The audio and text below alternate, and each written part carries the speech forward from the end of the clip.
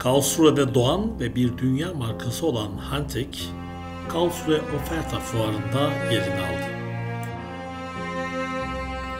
Solar Now ismiyle Oferta Fuarı'nda Salon 2'de yerini alan Hantek firması günümüzün yenilenebilir enerjisinde uzman kadrosuyla birlikte Avrupa'nın önde gelen lokomotif firması durumunda.